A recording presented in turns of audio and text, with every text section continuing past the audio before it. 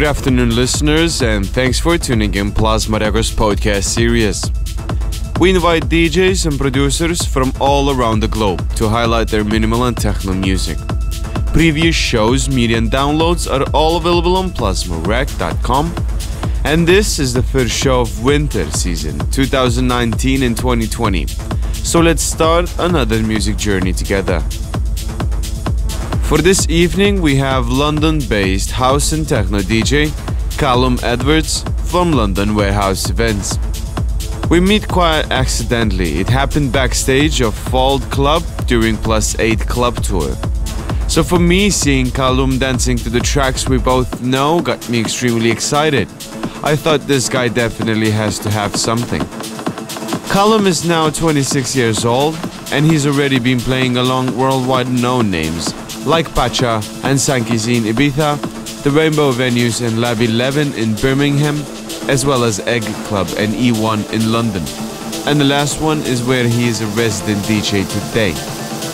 So we asked Callum to get out of his comfort zone and join us for Plazma Records podcast with a techno set he would have if he would be closing a room tonight.